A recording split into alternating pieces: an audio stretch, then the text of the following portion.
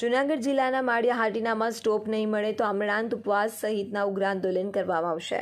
Railway વિભાગ દ્વારા માળિયા હાટીના ગામને હળાહળ અન્યાય કરાય છે. આંદોલન સિવાય કોઈ પણ સુવિધા મળતી નથી. માળિયા હાટીના રેલવે સ્ટેશનને રેલવેને ઘી, કેળા જેવી અઢળક આવક પણ થઈ છે, પણ તેમ છતાં રેલવે દ્વારા હળાહળ અન્યાય કરાઈ રહ્યો છે. માળિયા તાલુકાનું મુખ્ય મથક છે. વળી ગીરનું પ્રવેશ દ્વાર પણ તાળાડા, માંગરોળ અને મેંદરડાને જોડતો તાલુકો છે. સાસણનું સફારી પાર્ક, ગીરનું સિંહ દર્શનનું જંગલ પણ માળિયા હાટીનાથી નજીક છે. માળિયા હાટીનામાં પસાર થતી બધી જ ટ્રેનનો સ્ટોપ માળિયાને આપવો જોઈએ. અનેક માંગણી કરવા છતાં સોમનાથ બાંદ્રા અને બાંદ્રા સોમનાથ ટ્રેનના સ્ટોપની માંગણી માટે આજે રવિવારે સાંજે છ વાગ્યે સૌની મહાજન વાડી ખાતે એક મિટિંગ મળી હતી.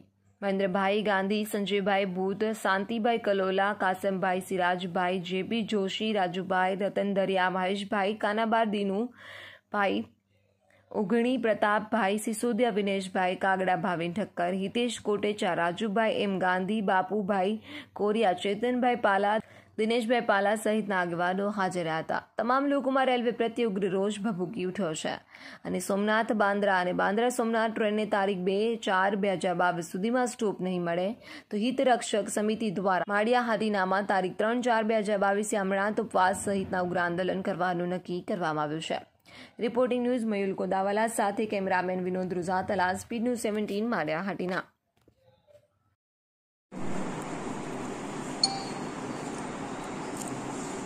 Mahendrakumar Shantilal Gandhi, સામાજિક કાર્યકર માળી હાટીના. માળી હાટીના રેલવે સ્ટેશને વારંવાર રેલવે વિભાગ દ્વારા થઈ રહેલા અન્યાય બાબત તેમાં ખાસ કરીને સવારની સોમનાથ રાજકોટ ટ્રેન બંધ કરી, સૌરાષ્ટ્ર મેલ બંધ કર્યો. ઉપરાંત જે મુંબઈ જવા તરફ એકમાત્ર જે ટ્રેન ચાલુ છે, તે વેરાવળ બાંદ્રા બાંદ્રા વેરાવળ ટ્રેનનો સ્ટોપ પણ નથી આપવામાં આવ્યો.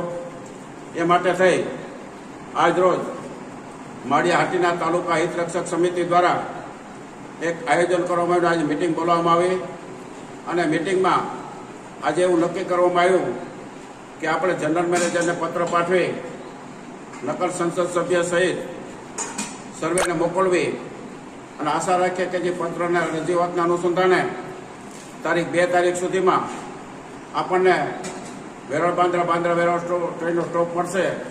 અને એમ છતાં ન ટ્રેન સ્ટોપ આપવામાં આવે, દુર્લભતા સેવામાં આવે, તો તારીખ ત્રણના રોજ મહાત્મા ગાંધી ચિંધ્યા રહે અહિંસક રીતે માળિયાટીના તાલુકા હિતરક્ષક સમિતિના નેજાન નીચે માના પ્રતાપ ચોકમાં અચોક્કસ મુદતના ઉપવાસનો પ્રારંભ કરવો, જેમાં સર્વે લોકો, સર્વે પ્રજાજનો બિનરાજકીય રીતે ઉપસ્થિત રહેશે અને જ્યાં સુધી ન્યાય માગણીને ન્યાય ન મળે, ત્યાં સુધી મહાત્મા ગાંધીજી જે અહિંસક રીતે અચોક્કસ મુદતના ઉપવાસ ચાલુ રાખવા એવો નિર્ણય આજની મિટિંગમાં લે માળીહાટીના તાલુકા હિતરક્ષક સમિતિ દ્વારા લેવામાં આવ્યો.